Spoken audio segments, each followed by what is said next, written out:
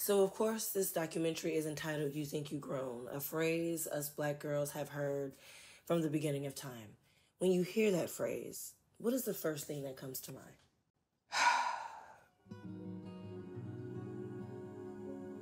When I hear that phrase, I think of the many times I was in grown folks' business. Don't wear that, you're too grown. Don't do that, you're too grown.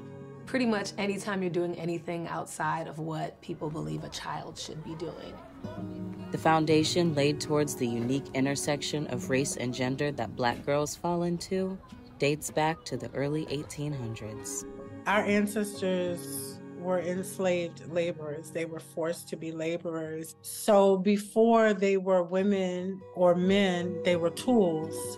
The effect of generations of institutional racism has created this collective psychology around Black children that makes them criminalized and considered as adults.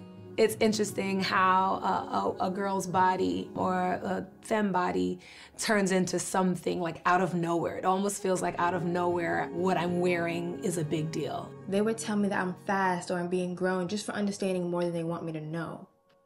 I've been told so many times that the way that I dress or the way that I talk or the way that I behave is as if I'm trying to get like men's attention or men's validation when really I was just wearing clothes, I was just talking, I was just existing. What follows them into adulthood is the insecurity of how I look versus who I am and how I feel.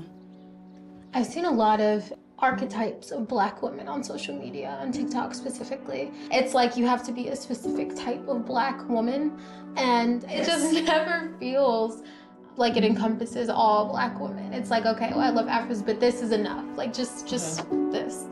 We black women have a tendency to exhale excellence and best believe that this is only the beginning of all that you will leave. Do not let these people destroy the legacy that you will leave. That resilience, it is flows through your bloodstream and your heart's mind. It is within you. It is in your genealogy.